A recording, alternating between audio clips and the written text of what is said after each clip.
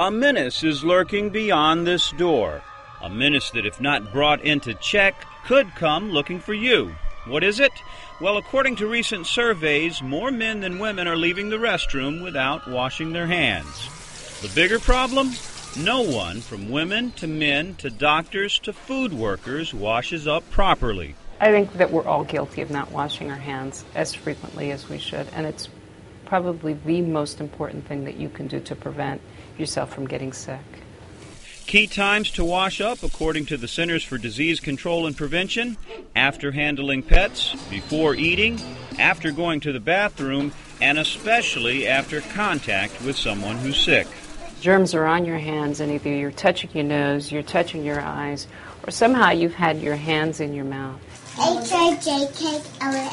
There are a number of things that you can transmit by not washing your hands frequently. The cold virus, there's the hepatitis virus, but certainly there are bacteria that can cause diarrhea.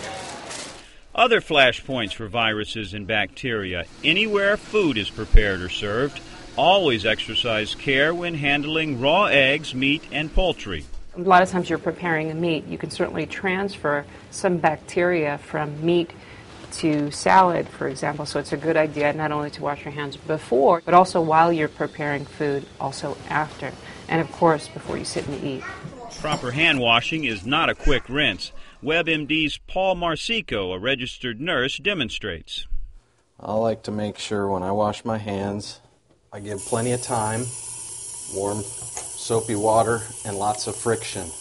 And make sure you get all the areas of your hands. Make sure you get the backs of your hands, in between your fingers, down the sides. I get up my wrists a little bit, and I also get under my fingernails. And I don't want to recontaminate my hands, so I'll use the towel to then turn it off. There are situations where there is no water. If you're traveling or if you're at a picnic, what do you do then? I frequently recommend hand wipes or even those gels, those handy pack gels that contain alcohol. Those easily kill germs. Bear in mind that sometimes water can breed more germs than it kills, and it's times like those when you should just keep your hands to yourself.